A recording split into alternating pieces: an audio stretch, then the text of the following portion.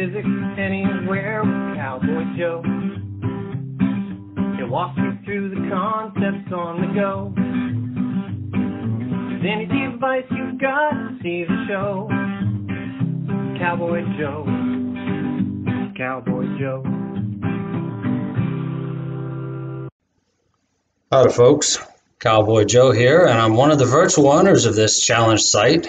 I'm here to invite you, your entire family, including your family pets, to take the Rube Goldberg Bar of Soap Challenge.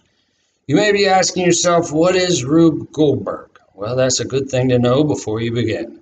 A Rube Goldberg machine is an overly complicated, wacky contraption that completes a very simple task.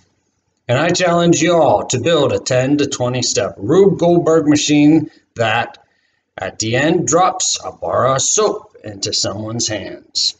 This is free to try, and all you have to do is build the machine, get it working, and film it in one pass.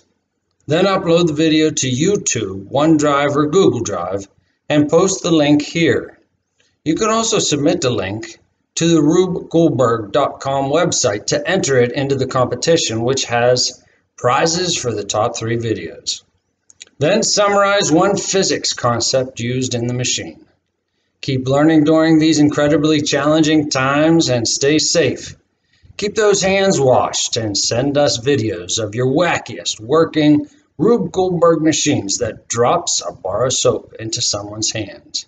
I can't wait to see what you come up with.